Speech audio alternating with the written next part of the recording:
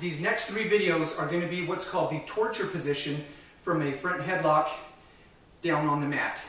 This is when a, you've tried to hit a backhand go behind or a shuck or run down double and the, the, your opponent is just too stubborn, it's not working. So let's say I've already snapped him down and I've tried everything else. What I'll do, I still have chin and pit, but on the torture position, I take this pit hand and I reach down just above the elbow. It's on the biceps and I've got to wrap deep this way and I go monkey grip, no thumb, and then I pull and I'm putting his arm on his head right there. As I do that, I'm walking my feet around this circular back direction, trying to pull this hip on the mat. Right, so I'm here and I pull it tight,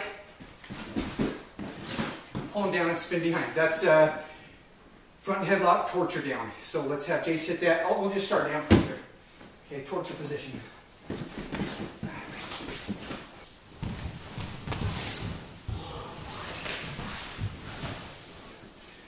And it does work the shoulders pretty tight.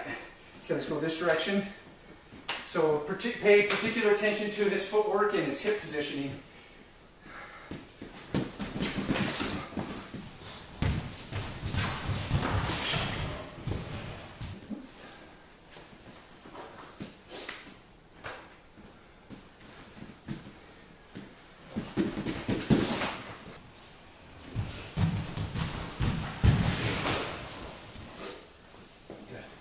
That's excellent.